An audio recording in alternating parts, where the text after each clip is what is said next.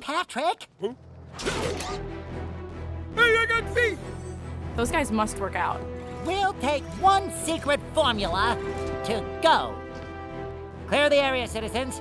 There's going to be some serious aft kicking here. Sour note?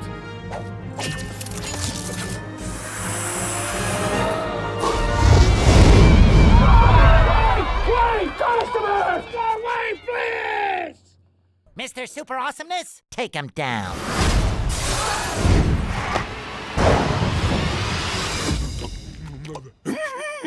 um, maybe we should have picked a better superpower for you, Patrick.